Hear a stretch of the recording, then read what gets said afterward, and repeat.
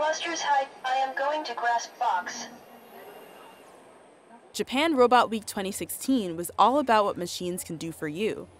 Held in Tokyo, the event highlighted advances in the robot service industry, like THK's Seed Solutions robot.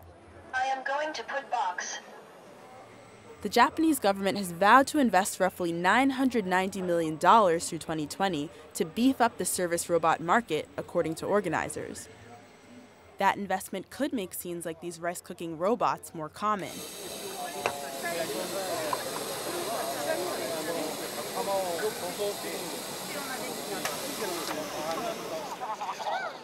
And what better service and companionship? Robots also featured included Takara Tomy's Omnibots, which mimic playful pets. Japan is already a leading user of industrial robots.